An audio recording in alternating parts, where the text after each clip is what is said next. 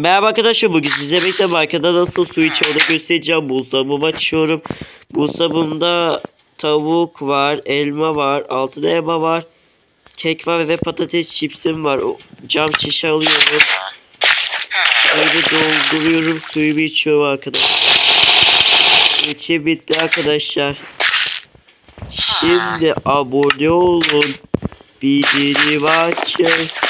Like atın. 拜拜。